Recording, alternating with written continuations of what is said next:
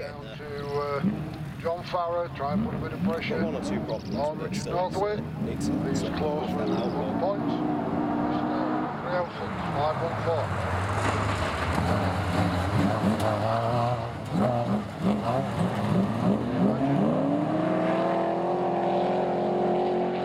No one's going to run away with it. They're going to make it difficult. And try and keep these points as close as possible. It's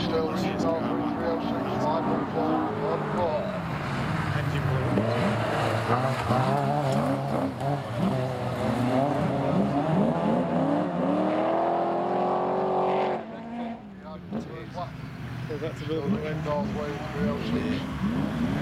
200 points leading the uh, table today.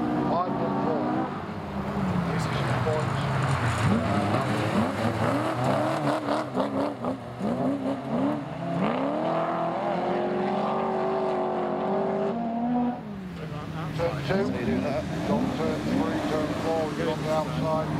You've got to the power and speed down to try and get past.